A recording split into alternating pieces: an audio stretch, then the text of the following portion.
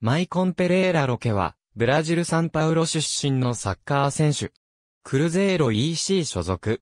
ポジションは DF。クルゼーロ EC で、プロデビューし、2008年1月に AD、カボフリエンセに移籍した。2008年5月に、ポルトガルプリメーラリーガの CD ナショナルに移籍した。8月24日の第一節0所 SSC 戦でデビューし、そこから11試合連続でフル出場した。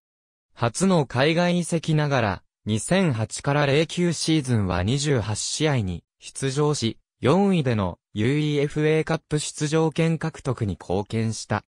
タッサでポルトガルでは SC、ブラガなどに勝利して準決勝に進出したが、準決勝の FC パソスデフェレーラ戦、セカンド、レグのアディショナルタイムに PK を許して2試合合計、4から5で敗れた。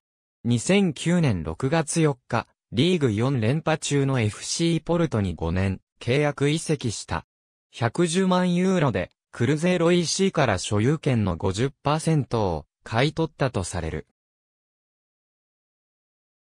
2012年3月2日、リーグ優勝を争うライバルの SL ベンフィカ戦では、フリーキックに頭で合わせて決勝点を挙げた。ポルトでは公式戦189試合試合に出場して、リーグ3連覇に貢献した。2016年2月にサンパウロ FC にレンタル移籍しブラジル復帰を果たした。2017年6月30日、ガラタサライ SK4 年契約で完全移籍。移籍金は700万ユーロ。2019年2月4日、アルナスルに2019から20シーズン終了までのレンタル遺跡。